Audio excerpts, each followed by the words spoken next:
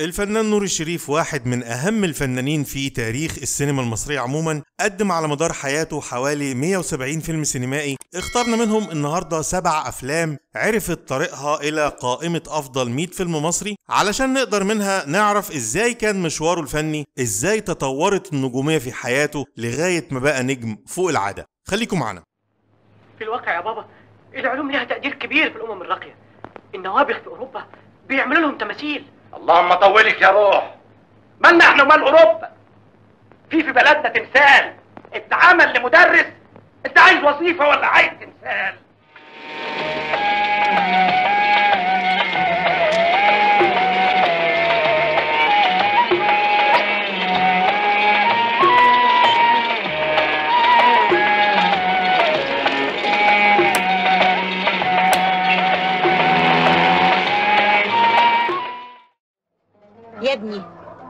عايز تطلع تاني على سلالم.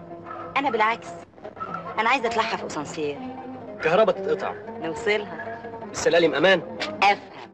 طريق النجومية عموما نادرا ما بيبقى مفروش بالورود. بالعكس ده بيحتاج صبر وكفاح مش بيقدر عليه أي حد. يحتاج موهبة مش موجودة عند ناس كتير. يمكن كمان بيحتاج لحظ يبقى بمثابة التوفيق من عند ربنا. ممكن تبقى موهوب وعندك عزيمة لكن مفيش حظ. بتلاقي حياتك بتختلف.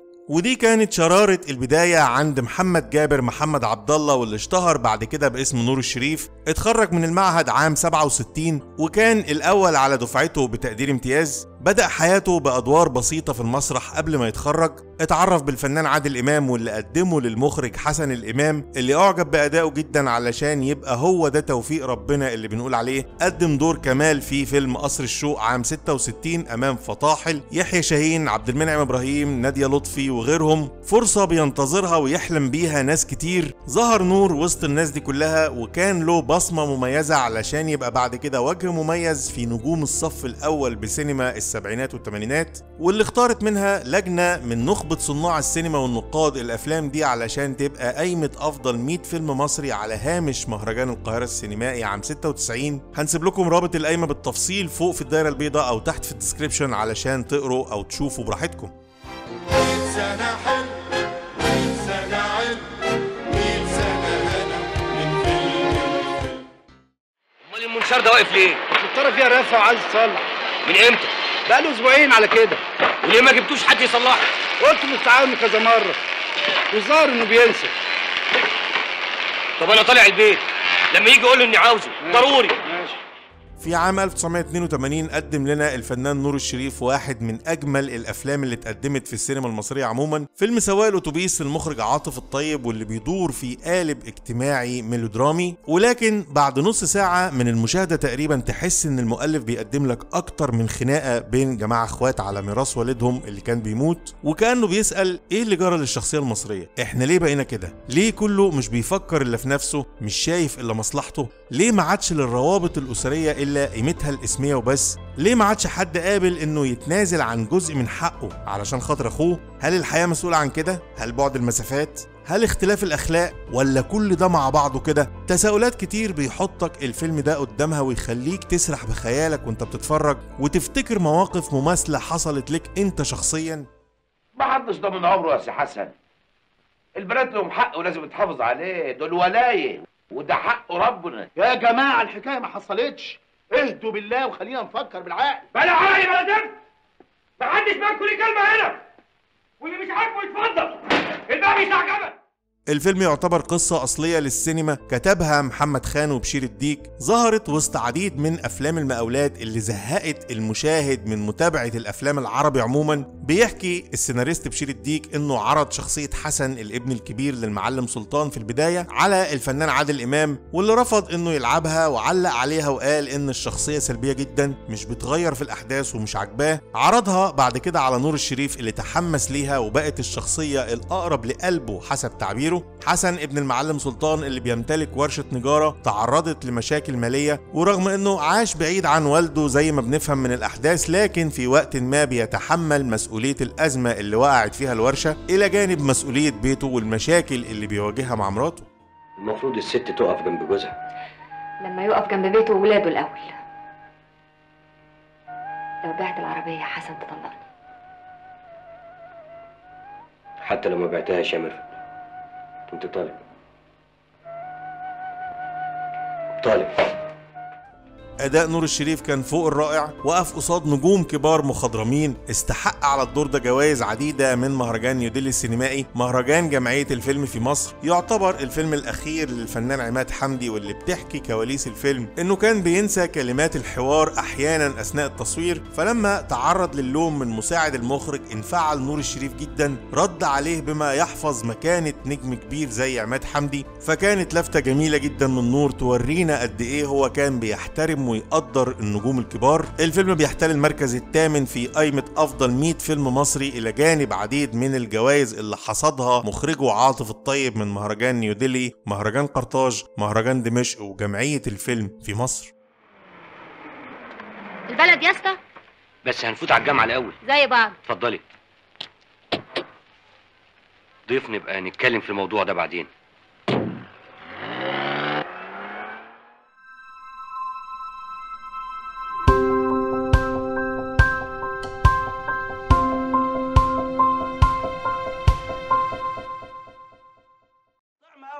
مرسي. بالهنا والشفا سعاد هي اللي عملت لكم الأكل ده بإيديها. تسلم إيديها يا مرسي. تسلم يا حبس وعملت لكل واحد منكم فرخه بمستلزماتها. عشان ما حدش يخطف من التاني ولا إيه يا حفظ؟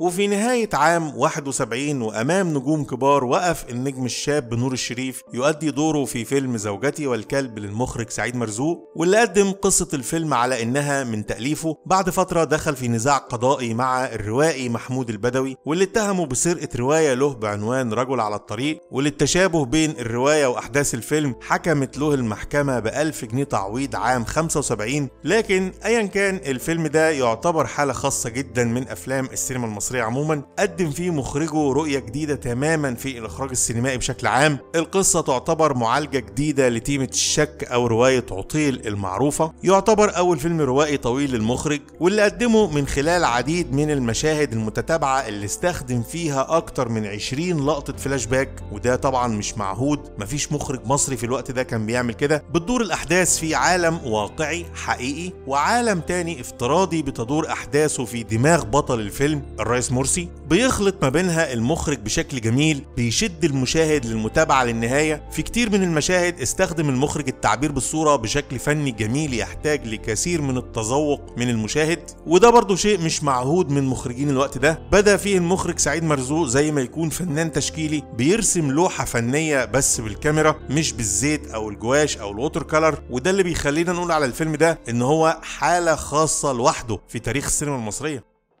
خسارة. طلعت مؤدبة قوي. بس حلوة حلاوة. أحلى من الصورة بكتير. بس كويس إني ما حاولتش معاها باين عليها بتحب مرسي قوي. أما عن دور نور الشريف فكانت شخصيته تعتبر شخصية مركبة. في العالم الواقعي ظهر بشخصية نور الشاب المراهق اللي كان زي كتير من شبابنا بيعاني من الهوس الجنسي. ربطت الكاميرا في كتير من المشاهد ما بينه وما بين الكلب اللي كان عايش معاهم. أظهرت الروابط دي من وجهة نظر المخرج. في العالم الافتراضي اللي في دماغ الرئيس مرسي ما تختلفش كتير شخصية نور اللي ظهرت عن شخصيته الأصلية. في حين إنه في العالم الواقعي كان قد المسؤولية اللي تحملها أمام رئيسه. في نفس الوقت كان عليه إنه يثبت براءته من تهمة ما ارتكبهاش. لعب نور الشريف الشخصية دي بكل أبعادها بمنتهى البراعة قدم لنا كمان كتير من المشاهد التعبيرية قليلة الحوار لكن بتنم عن تمكن كبير من الشخصية ودي عادة نور الشريف في كل الشخصيات اللي قدمها عموما. إيه في إيه تحت هنا. ها؟ ييه يا ابني دايما غرقان في الحكاية دي اديك غرقتهم معاك. الفيلم على فكرة تصنيفه للكبار فقط بيحتل المركز ال 33 من قائمة أفضل 100 فيلم مصري ويعتبر نموذج رائع لطلبة معهد السينما لدراسة الإخراج، تكوين الصورة والتعبير التصويري بشكل عام. إيه يا ابني اللي أنت بتنشره ده؟ متع نظرك. يا شيخ روح. ده لا قرف. وحشة جدا. تفتكر لو الواحد عنده دول كلهم كان حصل إيه؟ كانوا علقوك زي دول بالظبط. اللي ميعادك هنا قدام بيتي. عدم مؤاخذة وده بيت سعادتك. آه. أول هم أنا ما أعرفش إن ده بيت حضرتك. تاني هم يعني عدم مؤاخذة. ممنوع القعاد هنا؟ ممنوع إنك تشيل حاجة زي دي. عارف إن دي قضية ولا مش عارف؟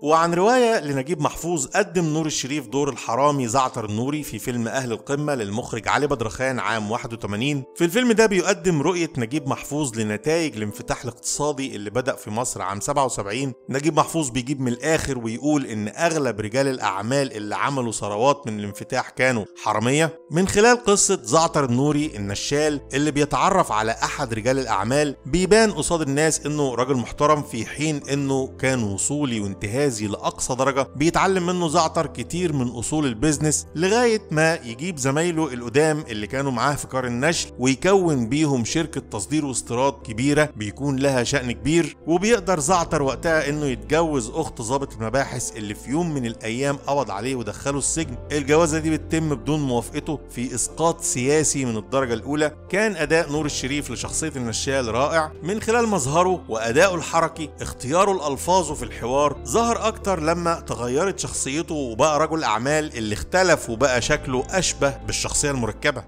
حقك. حقك ما انت بتاخده أول بأول. باخد إيه؟ أنت بتفكر إزاي؟ ده فيه مصاريف جامدة قوي على الشركة. أنا ماليش دعوة بكل الكلام ده. أنا من هنا ورايح مش هلزمك. أصلا أنا الحمد لله. نويت أتوب. ما تتوب ولا تغور في 60 داهيه البضاعة دي لازم ترجع.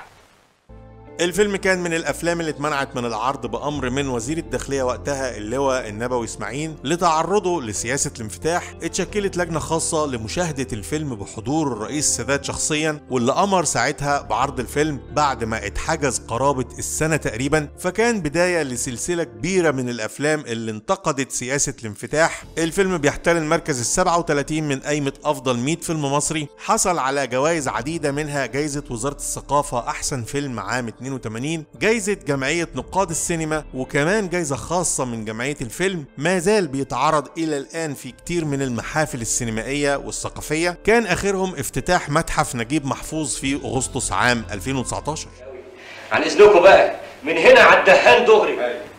أول مرة في حياتي آكل لحمة بفلوس حلال. على مؤاخذة السلام عليكم. سلام إيه؟ بقول لك إيه؟ استناني بره عند أبو العينين يلا. لو سمحت.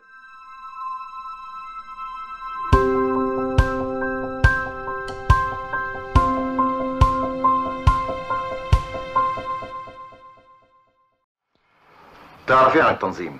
تنظيم؟ أنا ما أعرفش أي حاجة عن التنظيم ده. بطل لف ودوران وكلم عدل. ما تخلينيش أزعل منك. يا فندم أنا أنا مش خد سيجارة وروق. إحنا بندردش مع بعض وكله تزيد خانات. وعن قصة لنجيب محفوظ في واحد من أجرى الأفلام السياسية المصرية بيقدم نور الشريف دوره الجميل في فيلم الكرنك للمخرج علي بدرخان واللي يعتبر تاني فيلم ليه معانا النهاردة. الفيلم بيحكي عن الممارسات القمعية اللي كانت بتمارسها الأجهزة الأمنية ضد الناشطين السياسيين من طلبة الجامعة فترة الستينات. من خلال قصة ثلاثة طلبة أصدقاء كانوا رواد لقهوة اسمها الكرنك بترصد المباحث تحركاتهم وبتعتقلهم وتعرضهم للتعذيب لانتزاع اعترافات وهمية منهم. إحنا عايزينك تجاوب على كل سؤال لوحده. انضميت للشيوعية إمتى؟ من 8 سنين. يا ابني خلي إجاباتك معقولة. أنت من 8 سنين كنت تلميذ في إعدادي. وإحنا كمان الثمان سنين دول يبقى كنا نايمين على ودانا ولا إيه؟ طب سنتين. الفيلم دخل في معارك كبيرة مع أجهزة الدولة المختلفة أشهرها وزارة الثقافة واللي كانت بتمثل الرقابة على المصنفات الفنية. وزير الثقافة وقتها الكاتب الكبير يوسف السباعي رفض شخصية حلمي الشاب اليساري اللي أداها محمد صبحي في الفيلم. طالب صناع العمل إنهم يظهروا إن القيادة السياسية كانت بعيدة عن كل اللي بيحصل في المعتقلات وغير مسؤولة عنه وإنه ده كان بأمر من الأجهزة الأمنية الفاسدة وبس وإنه كل ده انتهى بقرارات عام 71 واللي كانت إيذان ببدء عصر الحريات زي ما اتقال وقتها. ده طبعا بخلاف رواية نجيب محفوظ واللي كانت بتنتهي بنكسة يونيو عام 67 كنتيجة لكل اللي حصل. أنا مؤمن بالثورة. لما قامت كان عندي خمس سنين. أنا بعتبر نفسي ابن الثورة. ولا يمكن أفكر في نشاط معادي ضد البلد. أمال نشاطك مع الإخوان كان إيه بالظبط؟ فندم أنا حتى للأسف ما بصليش. قدم لنا نور الشريف دوره في الفيلم ده وهو بيتلقى خبر وفاة والدته بيستأذن من المخرج لمدة يوم واحد بس يروح يحضر الدفنة والعزاء ولأنهم كانوا واخدين تصريح بالتصوير داخل مبنى مجلس الشعب في توقيت معين ما ينفعش إن هو يتأجل بيعاود نور التصوير في اليوم التاني وبيقدم المشهد اللي بيشتري فيه الدبل مع سعاد حسني طبعا مطلوب منه إن هو يكون في منتهى السعادة غير طبعا اللي جواه. مفيش داعي يتكلموا علينا. إحنا ما بنعملش حاجة غلط. يا مجنون يا رجعيه وبتحكي لنا كمان كواليس الفيلم إنه الشخصية اللي اداها نور الشريف في الفيلم ده كان في الأصل مرشح لها الفنان أحمد زكي. اعترض ساعتها المنتج رمسيس نجيب واللي كان مسؤول عن توزيع الفيلم فتم استبداله بنور الشريف. كمان كان الفنان جميل راتب مرشح لشخصية الضابط خالد صفوان ولكن لهجته العربية اللي بدت غريبة في الوقت ده خلت صناع الفيلم يتجهوا لكمال الشناوي. بعدها طبعا جميل راتب تمكن من اللغة العربية أكتر وقدم لنا أدواره الجميلة. إيه رأيك في الأفكار اللي موجودة في الكتاب ده؟ أكيد بتعبر عن رأي المؤلف. وأنت طبعا مؤمن بيها؟ مش شرط إني أؤمن بكل اللي أقرأه. بطل لف ودوران.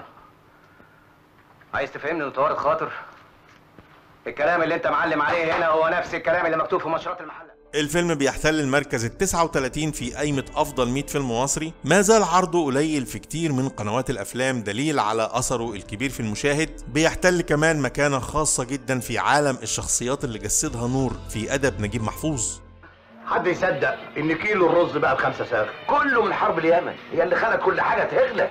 دي ثورة ضد التخلف وإحنا بنساعدها. مش لما نقضي على التخلف اللي عندنا الأول. ده يا جماعة دي سياسة. مصر بقى لها مسؤوليات كبيرة. مسؤوليات إيه دي اللي تخلينا نبعزق فلوسنا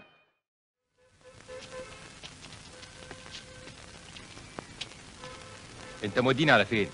على حتة أمان. نعرف نتكلم فيها براحتنا. وفي واحد من أجمل أفلام المخرج علي عبد الخالق بيقدم نور الشريف دوره الشهير في فيلم العار إنتاج عام 82 كمال ابن الحاج عبد التواب صاحب محلات العطارة رجل البر والإحسان اللي عاش والناس كلها بتحلف بحياته. لما بيموت بينكشف سره قصاد أهل بيته اللي رباهم تربية صالحة. بقى كل واحد فيهم له مركز كبير في حياته. بتكون مفاجاتهم كبيرة إن والدهم كون ثروته من تجارة المخدرات. بتكون مسؤولية كمال قصاد إخواته إن هو ينهي آخر مات والده قبل ما ينفذها بيصطدم بعاصفة من الرفض من إخواته اللي بيرفضوا سياسة الأمر الواقع ولكن كمان بيرفضوا التخلي عن وضعهم الاجتماعي وبيكون ده مدخل أخوهم الكبير علشان يواصل الضغط عليهم للنهاية. واللي نفسه في العسل لازم يصبر على قرص النحل. واللي ما نفسوش أنا بقى ما نفسيش. يصبر على عرض الفقر لا لا إحنا في عرضك. القرص أرحم من العض. إحنا مش حمل أنياب الفقر. صدقني يا دكتور. الفيلم يعتبر واحد من أجمل الشخصيات اللي قدمها نور الشريف على الإطلاق. بيحكي في أحد الورش الفنية اللي عملها إزاي ابتدى يشتغل على الشخصية. من خلال مقابلته مع أحد التجار الشعبيين اللي كان لابس بدلة جديد زي ما بيقول نور. تقريبا الشخصية كانت قريبة من الشخصية اللي بيأديها نور في الفيلم. ابتدى نور عن طريق الملاحظة والتطوير ياخد منها ملامح ولازمات لشخصيته الجديدة. بالاتفاق مع المخرج علي عبد الخالق فكانت إضافة جميلة للشخصية اللي كتبها محمود أبو زيد عكست مدى العمق في شخصية كمال عبد التواب واللي كانت أوضح بكتير من شخصية إخواته اللي كانوا بيعانوا من ازدواجية شديده لمست كتير من نفسية المشاهد وخلت متابعة الأحداث للنهاية شيقة. ما تخلي حضرتك مرتاح واسافر أنا أقضي الشغلة دي. ومين قال لك إني تعبان يا أخي؟ أه، أهي فرصة. نشم هوا وناكل أكلة سمك على البحر. وبتحكي لنا كواليس الفيلم ده إن الفنان يحيى الفخراني كان مرشح لدور عادل طبيب الأمراض النفسية ولكنه اعتذر فراحت لمحمود عبد العزيز. وبعد عرض الفيلم ندم يحيى الفخراني على كده ندم شديد عوضه في فيلم الكيف اللي كان بعد كده. الفيلم بيحتل المركز ال 56 من قائمه أفضل 100 فيلم مصري. حصل مخرجه علي عبد الخالق على جائزه الإخراج من مهرجان مانيلا السينمائي عام 82 غير الجوائز اللي حصدها من جمعية الفيلم أحسن فيلم أحسن سيناريو أحسن إخراج غير جايزة خاصة من مهرجان القاهرة السينمائي في دورته السادسة عام 82 لما اتعرض على هامش المسابقة الرسمية. بكرة الساعة 10 الصبح هستناكم في الدكان عشان نخطط حركتنا. جيتوا أهلا وسهلا. ما جيتوش؟ الساعة 10 وخمسة هبتدي أخطط وأتحرك لوحدي.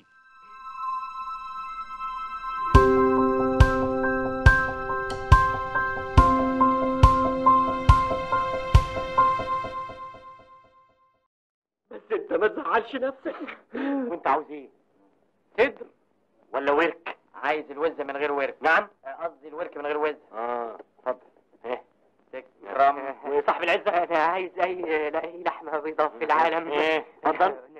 وعن قصة لمجيد طوبيا بيحكي لنا فيلم أبناء الصمت للمخرج محمد راضي كتير من بطولات حرب الاستنزاف بتحكي القصة عن الجانب الإنساني في حياة الجنود اللي بتختلف داخلياتهم من واحد للتاني لكن طبعا هدفهم واحد. الفيلم ده من الأفلام القليلة لنور الشريف اللي مش بتحس بشخصيته قوي عن باقي الشخصيات اللي في الفيلم بعكس كتير من الأفلام التانية اللي بتبقى شخصيته متفردة. يمكن ده لكتر الشخصيات اللي فيه يمكن كمان من الأحداث الموجعة اللي بتوريها لنا مشاهد الفيلم العديدة بنشوف كمان قصة حب في وسط المعارك بيحاول المؤلف بيها إنه يخفف من جرعة الألم شوية لكن فعلا أحداث الفيلم مأساوية لحد كبير. تم تصوير كتير من المشاهد في حماية وحدات الجيش الثالث في السويس عام 74 بعد انتهاء أحداث الحرب المشتعلة وقتها. استعان المخرج ب 12 مصور في أكتر من زاوية علشان يكون على راحته في المونتاج. صور أغلب مشاهد المعارك مشاهد تمثيلية. استعان ببعض اللقطات الأرشيفية في حدود ضيقة ويمكن ده اللي ميز الفيلم ده عن باقي الأفلام اللي اتعملت عن المعركة. اتكلف الإنتاج حوالي 50 ألف جنيه وده مبلغ كبير جدا وقتها بالنسبة لميزانية الأفلام. تم عرض الفيلم في الذكرى الأولى للعبور عام 74 في سينما رمسيس. حقق نجاح كبير. اسمع يا سيدي مندوبتنا تطوف بأنحاء القاهرة في مغامرة مثيرة.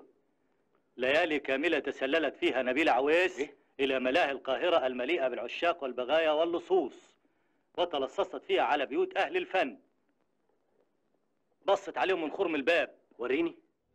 الفيلم بيحتل المركز ال 74 في قائمة أفضل 100 فيلم مصري. حصل على عديد من الجوائز أهمها جائزة المركز الكاثوليكي للسينما عام 75 كمان ما زال بيعرض للنهاردة في كتير من المحافل الثقافية والندوات اللي بتتم على هامش ذكرى العبور كل سنة غير عرضه طبعا في كتير من قنوات الأفلام. هتسمي عنوان الموضوع ده إيه؟ عملية القمر هي عملية القمر الناجحة دي. أنا شخصيا بعتبرها مش أكتر من تدريب عملي بالدم.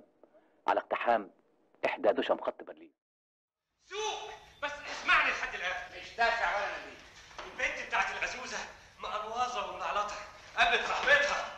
مقلوظه برضه. نخليهم هما الاتنين مقلوظين ليه لا؟ مش السوق عاوز كده. وفي حدوتة مصرية عام 82 بيواصل المخرج يوسف شاهين رواية السيرة الذاتية بتاعته بيحكي للمشاهد خلاصة تجاربه وخبرته في الحياة بيقدم نفسه للناس باسم يحيى شكري مراد بيحكي لما اتعرض المخرج لأزمة قلبية وهو بيصور فيلم العصفور عام 70 واستدعت لتدخل جراحي. في الفيلم ده بيتخيل شاهين محاكمة بتتم لشخصه ولكن داخل مصدر الألم قفصه الصدري ودي وإن كانت غريبة شوية على المشاهد لكن بيستوعبها بعد شوية من المشاهدة. بيقف فيها يحيى بشخصيته وهو طفل وشخصيته لما كبر وبقى مخرج يدافع عن نفسه قصاد كل التهم اللي توجهت له من غيره وأهمها إهماله في صحته على حساب شغله وفنه. إذا سمحت هيئة المحكمة فإني أود أن أستدعي السيدة الكريمة والدة المجني عليه يحيى شكري مراد. في الفيلم ده بيواجه نور الشريف نفسه اتهامات بتقليد المخرج يوسف شاهين ونفس الشيء عن دوره في فيلم المصير عام 97 لكن قبل كده كان الفنان محمود حميدة رد على الموضوع ده وقال إن طريقة تلقين شاهين نفسها للشخصية أثناء التصوير هي اللي بتخلي أغلب أبطاله ياخدوا كتير من شخصيته. اتكلمنا عن الموضوع ده تحديدا قبل كده هتلاقي رابط الحلقة فوق في الدايرة البيضاء. نفس الشيء اللي قلناه على فيلم أبناء الصمت شخصية نور هنا بتختفي ضمنيا جوه شخصية يوسف شاهين. انت على الشاشة شايف قدامك نور الشريف لكن في الواقع انت شايف يوسف شاهين وسامع صوته كمان قول قول للابن ده كمان مرة ويحاسب ويقف على العلامة ها؟ روح يحاسب الفيلم يحتوي على مشاهد live من حفلة أم كلثوم تعتبر هي الوحيدة اللي كانت بالألوان في عمر سيدة الغناء العربي. كانت في البداية مرشحة لدور البطولة سعاد حسني واللي اعتذرت وحلت محلها يسرى. كمان يعتبر الحلقة الثانية في رباعية السيرة الذاتية ليوسف شاهين بيحتل المركز ال 84 من قائمة أفضل 100 فيلم مصري. حصل على عديد من الجوائز الفنية. مؤخرا خضعت نسخة الفيلم مع غيرها من أفلام يوسف شاهين لعملية ترميم للحصول على نسخ عالية الجودة. تم تمت بالمشاركة مع السينماتيك الفرنسي. ما زال بيتعرض في كتير من المحافل الثقافية اللي بتقام في ذكرى يوسف شاهين كل سنة. آخرها كان في سينما زاوية في أكتوبر عام 2018 أنا سخنت خلاص. ودول خمس دقايق بس. ماشي يا أستاذ. ما تخليهم يروحوا لبيوتهم وعيالهم وأنت كمان قوم روح وبقى كمل بكرة. ولا أنت خلاص زهقت مننا أوكي فركش. يلا يا بنتي. قومي يا.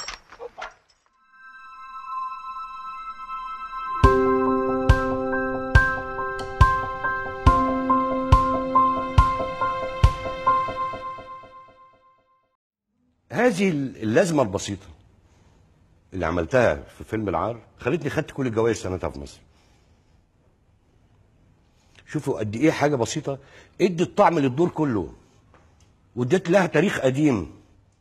وبخلاف قايمة أفضل 100 فيلم مصري قدم لنا نور الشريف عديد من الأدوار الهامة زي مثلا على سبيل المثال للحصر كتيبة إعدام قلب الليل ليلة ساخنة توحيدة. دنيا الله الصعاليق البحث عن سيد مرزوق زمن حاتم زهران الصرخة دماء على الأسفلت ناجي العلي المصير اختفاء جعفر المصري دم الغزال وغيرها من الأدوار اللي أمتعنا بيها نور الشريف على مدار تاريخ حياته الممتد لأكتر من خمسين سنة فن وعطاء. كان خلالها دايما واحد من الفنانين القلائل اللي بيحققوا المعادلة الصعبة بين الفنان الناجح المثقف اللي بيحترم فنه وجمهوره. اللي ما شافش أفلام نور الشريف اللي اتكلمنا عنها النهارده يا ريت لو يتفرج عليها. أغلب أفلامه أحلى من بعض وده وإن دل يدل على احترافيته في انتقاء أدواره بعناية. كمان لو حد لاحظ النهارده إن إحنا اتكلمنا عن ثلاث أفلام لنور إنتاج عام 82 والثلاثه دخلوا ضمن القايمة. يعني بالنسبة له ابدا ما كان إنتاج عدد من الأفلام بيطغى على غيرها في الجودة. ده برضو نادرا ما تلاقيه من كتير من الفنانين بوجه عام. مش هنقدر نسأل النهارده إيه أفضل أفلام نور الشريف من وجهة نظرك؟ لأنه احتمال يبقى سؤال محير. لكن هنسأل إيه تاني من أفلام نور الشريف من وجهة نظرك كان المفروض يبقى ضمن قائمه أفضل 100 فيلم؟ قولوا لنا على آرائكم في التعليقات أسفل الفيديو أو في حساباتنا على مواقع التواصل الاجتماعي. اللينكات هتلاقوها تحت في ال description أو في شاشة النهاية. واللي عايز يقرأ أكتر عن نور الشريف هيلاقي على مدونة غاوي سينما. ال link هتلاقوه فوق في الدايرة البيضاء أو تحت في ال description أو في شاشة النهاية. like الفيديو لو عجبك و share لو عجبك قوي يمكن يعجب حد من أصحابك. لو بتشوفنا لأول مرة يا ريت لو تعمل subscribe للقناة وتفعل خاصية تنبيهات من الجرس علشان يوصلك كل شغلنا. ولو عايز تشوف فيديوهات تانية للقناة استنى الشاشة اللي جاية. نشوفكم دايما على خير. وظائفنا ومراكزنا مش هي الشيء الوحيد اللي بيستحق التقديس والاحترام يا أستاذ. مش هي الشيء الوحيد اللي نخاف عليه ونرفض ندنسه بسقوطنا مش هي الشيء الوحيد اللي لو تخلينا عنه هنبقى في حل من عذاب الضمير. ده لسه بيتكلم بالنحوي. يا ناس ارحموني وخلصوني بقى.